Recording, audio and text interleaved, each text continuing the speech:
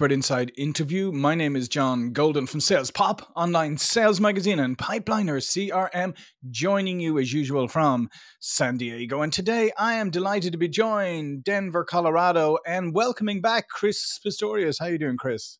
Hey, good. How are you? Thanks for having me. Yeah, yeah, it's great to see you again. And Chris is the founder of Kickstart Dental Marketing. And while uh, Chris specializes in dental marketing, other medical professionals, marketers, entrepreneurs, and businesses can learn from his digital marketing experience over 15 years, working with countless local business owners and industries across all, ma- all facets of marketing, consulting, coaching. Uh, and you've been able to build up a local digital marketing agency and one of the top advertising agencies in the com- uh, in the country. And what we're going to talk about today is how to kickstart your marketing, right? And uh, I mean, let's face it, uh, you know, Chris, as market conditions change, as buyer behavior changes, all these changes are happening. Um, sometimes people kind of get trapped and don't sort of know how to kickstart their marketing and you know maybe it's being it's becoming less and less what they're doing is becoming less and less effective but they don't know how to kickstart it yeah i call it ostrich marketing because sometimes right. i think you know what happens is that um, people aren't quite sure what to do and so they'll put their head in the sand and do nothing. It's kind of the easiest way to do it right? So yeah. we've, we've seen that and we help uh, kind of our our goals are to help dentists specifically but really any local businesses come out of that hole and and just show them a clear path on how they can do things to market their business and not have to break the bank yeah. So, what are some of those ways that you can, um, you know, kickstart and get your marketing going without breaking the bank? Because you know, a lot of times people think that their only option is to is to throw money at it. Yeah, well, there, I think there's an appropriate time to throw some money sure. at it. I think what you've got to do first is identify who it is you're going after. I mean, do you really know who your ideal cu- customers or clients or whatever are? Um, and until you know that, then you don't really have a plan of you can't really market that well because you don't know where to market because you don't know who your who your ideal customers are. So I always tell people to start there. Yeah, and it's and it's funny because you mean you would think, eh, you know, in some businesses people might think like say you know in a dental business you might think, oh, but I'm a dentist. Everybody is my is my potential customer. But if but but that's never true. It, there is there, there is always you know uh, there is always a target customer if you can narrow it down because if you go too broad then you're just you know competing in a very general market. Yeah and you know everybody's a little different. I mean mm-hmm. whatever business you're in i mean dentistry is super competitive. Yeah. there's tons of dentists everywhere right? But if you're a you know own a lumber yard or if you're an attorney or whatever it may be you know, there's always something that we call with our we we talk about with our clients called a unique selling proposition. Mm-hmm. Um, and it's you know what makes you different? Why should somebody choose you versus your competition? And you know that's kind of the number two thing that we do is after we identify who it is we want to bring in we identify what makes you unique. And if you don't know that then we'll help you create it. But those are two really key elements back to back that you've really got to have put together um, before you should really start throwing money at things yeah, because as you said, I mean, there's you know there's a lot of similar similar businesses out there, and if you if you provide the you know the product or service that's nowadays that's just the baseline right? It's it's everything else you wrap around it to make yourself unique um, to make you know the experience different.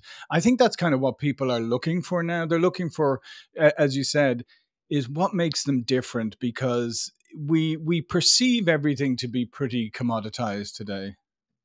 Yeah, it's without question. And you know, I, I really suggest when people think about this, they really try to get unique about it. You know, don't just say, well, we have the best customer service mm-hmm. or we mm-hmm. have the best widget or, you know, whatever it may be. You know, really start thinking about what makes you different. You know, what do you have special equipment? Do you have special skills, special education? Something that really clearly separates you from that competition and does truly make unique, make you unique. And we've even had some clients create things just to make them unique. Like right. for instance, in dentistry, it could be, you know, evening hours, weekend mm. hours. Some we even had a client that'll actually go to your home if you can't get out or whatever. Those are the type of things that really work well. Mm. Wow, dentist coming to your home.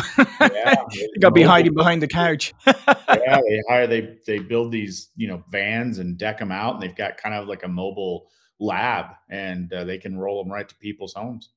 Wow.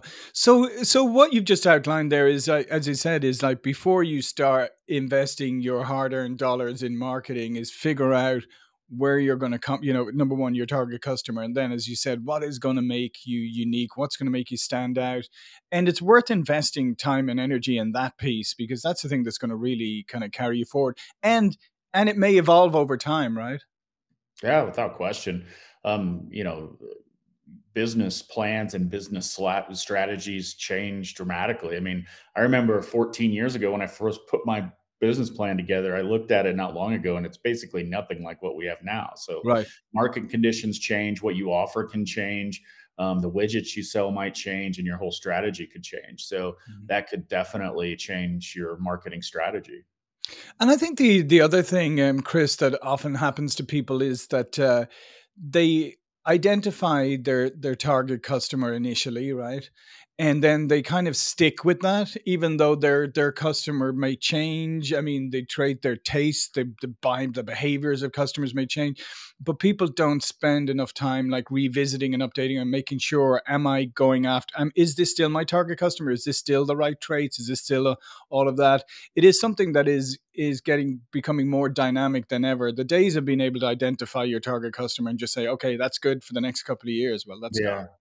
No, and I, I, think that's why it's important to use, you know, we know some clients from past, not not dentists really, but from other industries that try to use spreadsheets and whatnot to track customer data and what and you know we always try to refer them to some a crm that allows them to manipulate data and look at it in big groups so that you can help identify you know who are your clients who's the most common to to you know purchase your product.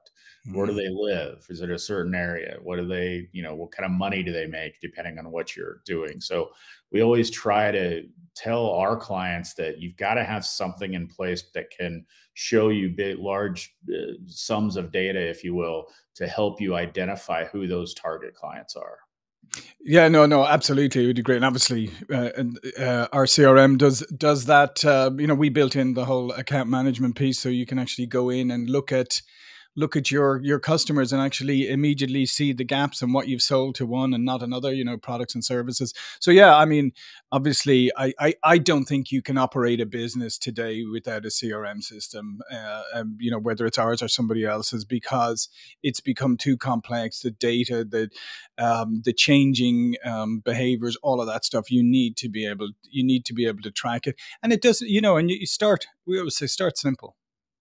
Yeah yeah, without question. I mean, you know, I could see somebody starting a business off a spreadsheet, but once you start taking off and, you know, you're getting some real clients and some real momentum, you know, and it kind of draws me to another rant is one yeah. thing I wish I would have done differently when I started was really take more time building out your processes and procedures and having a good solid CRM should be one of those because um, you know we when we started we started all right we started a business come you know join us. Mm-hmm. We started bringing on clients and we were taking on anybody that would pay us basically at the time and then all of a sudden we're like oh well now we've got to actually fulfill all these orders right so yeah. we hadn't created any processes or procedures or really had a crm and it, it kind of kicked our butt for the first month few months so I definitely strongly suggest that. yeah.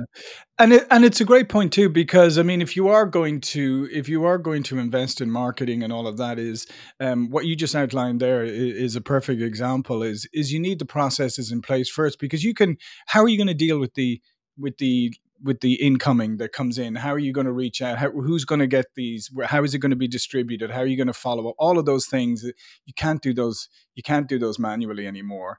Um, i mean maybe you can at the very beginning you said but uh, that'll soon uh, kick you but it's better to invest time in that before you invest your marketing dollars. I think so without question. I think that if you can if you can start putting processes and procedures together quickly and early i mean they'll always change and you'll have to tweak them yeah you'll still be ahead of the curve.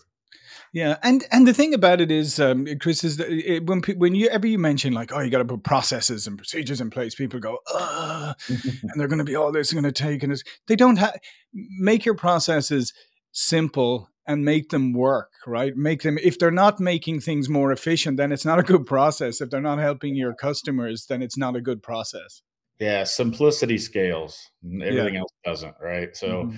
you gotta you've got to talk about scale too. I mean, we run a very boutique type agency here.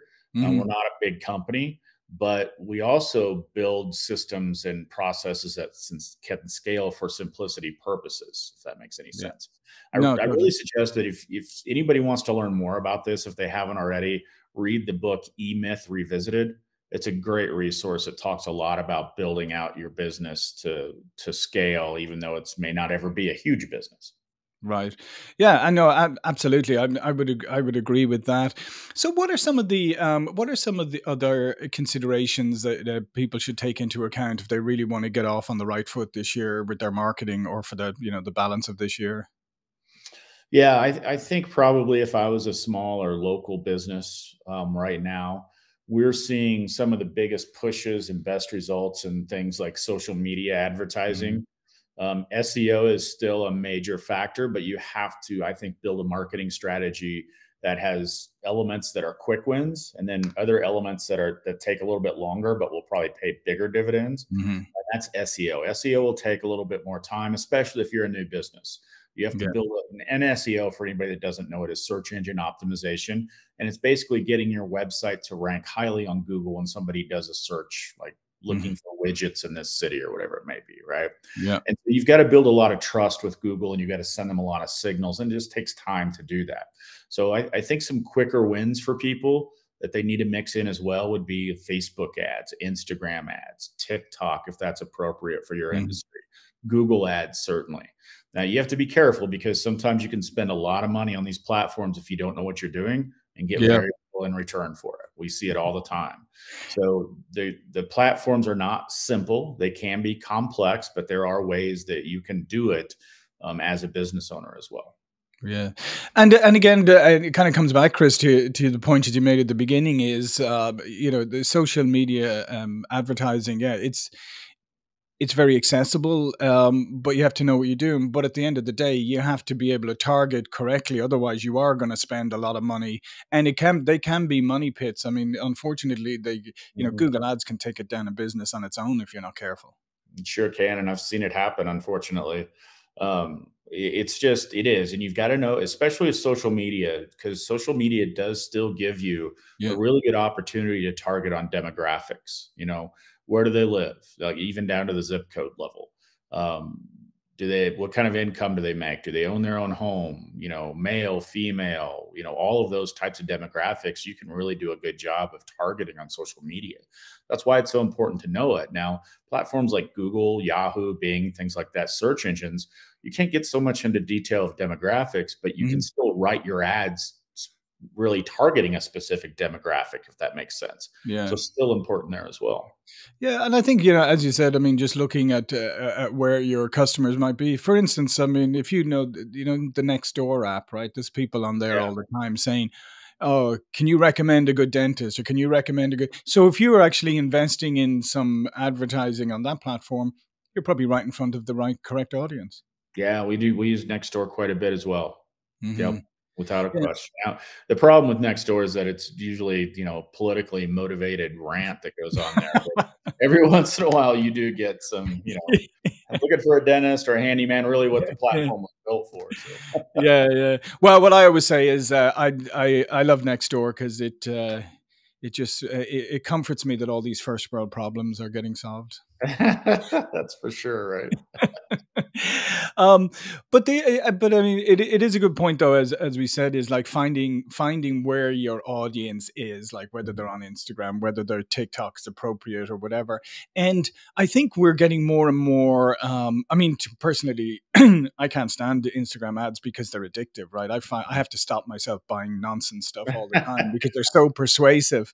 Right. Um, so I mean, these are great. I think as an as consumers, we're getting very used to now to being marketed through these platforms. Yeah, without question. And here's here's a tip with social media: don't sell anything. Okay. Mm-hmm. And and the reason I say this is because think about your audience. Social media is people going onto Facebook or Instagram, checking out to see what their family's up to, their friends. They're trying to show off and keep up with the Joneses, usually things like that. They're not necessarily going on there to look for a dentist or a widget or a lawyer or whatever, right? So mm-hmm. when you try to sell, sell, sell on social media with your advertising, it's very off-putting for these people and they'll ignore it. And they're, you're right. They're, they're seeing these ads so often and trying to be sold to. It's just like, you know, they zone out. So what works really well for us, especially in the beginning of a marketing campaign is use social media ads to introduce yourself to the community right? Mm-hmm. Use personalized photos of you, your family, your dog. That works really well. Animals, but use personal, actual photos of yourself and say, look, you know, um, I'm new to the area, or I didn't know, I don't know if you knew this, but I'm Dr. He, she, or whatever. And I'm at blah, blah, blah. And we specialize in this, that, or the other thing. It's nice to meet everyone. That's what social media is all about. And that's what the message, messaging should be in advertising. And so then you intrigue people and you start them in this funnel of, all right, you've introduced yourself. Now you've built that relationship a little bit now you can start talking about business. It's like dating, right? It's not like on the mm-hmm. first date you ask somebody to marry you, right? Yeah. Build that relationship a little bit first. So I think that's one of the biggest places that people make mistakes on social media advertising. Yeah, yeah no, I, I would agree with you. I always tell people to treat it like uh, in person, right? I mean, you wouldn't walk into a room of people and just start shouting at them, saying "Buy this!" Right? right. I mean, you know, you'd you'd go in, as you said, you'd introduce yourself to some people, you'd chat, you'd build, you'd build some rapport. Um, just because it's online doesn't mean those rules don't apply. Nobody likes being, you know, just a, a carnival barker shouting at them. I'm going to steal that one. Carnival barkers. I like that.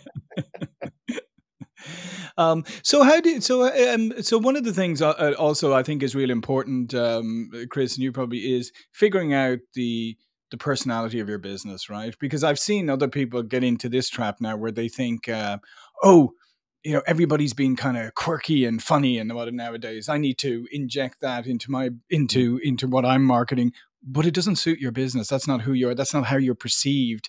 So i think that's important because i've seen people start to do that and you're going ooh this is very jarring. This is not uh, and this is not what i want from you. Yeah. I, I you know it's all about culture and you can't force culture and you can't mm. you know I'd love to have a culture like Google or Instagram or all these really cool startups, right? But it's just not the way we run. So, mm-hmm. you know, you're, I think you're absolutely right. You know, you have to go with kind of the way you're wired and do business that way because if you're faking it at some point that your customers are going to realize it and they're going to be like, wait a minute, this isn't, this isn't what I signed up for. Right. So, yeah, you can't fake that. You just got to go with the way that your culture, you know, is. And, and I think that's the best way to move forward. Yeah, and and the and the authenticity piece because I think people want to. Uh, we've been through so much and all of that, and um, you know, people want authenticity. They want real people. They want to you know trust the people they're they're dealing with. They want some kind of relationship. Um, so these are these are things that you should keep front and center and not kind of get distracted into into trying like you know trying as I said trying quirky things. Yeah, without question, I think it's you know I and it's it also it's like with anything you do, like content on your website or how you write your ads on social media, or even how you post on social media, right? Use that same branding culture, the way you do business, use that as a standard and and continue to go forward with it. Yeah, absolutely. Well, listen, um, Chris, as usual, this has been um, great insights. Thank you so much for joining us today. All of Chris's information is going to be below this video. But before we go, please do tell people uh, a little more about you and what you do. Yeah, so I've uh, owned Kickstart Dental Marketing for the past 14 years. Uh, we help dental marketing practices, you know, really dental practices, I should say, bring in new patients, grow their practices, and really target the the type of patients that they want. So. Mm-hmm. Yeah, no, it's fantastic. I'm still got that image of the mobile dental thing, you know, yeah, the van yeah, arriving at arriving at the house and the poor kids like running out the back door, climbing over the fences to get away. Probably so, right? I would be. yeah. Well, listen, uh, thanks again, Chris. Thank you for watching and listening, and I'll see you all again soon.